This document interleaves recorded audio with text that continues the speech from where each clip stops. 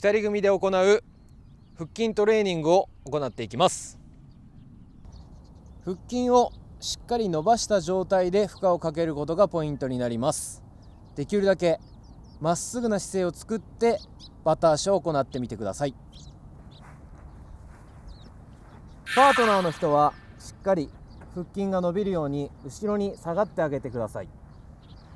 この伸びた状態のまま腹筋を行います。上の方でやるのではなく足を水平にした状態でバタ足を行ってみてください。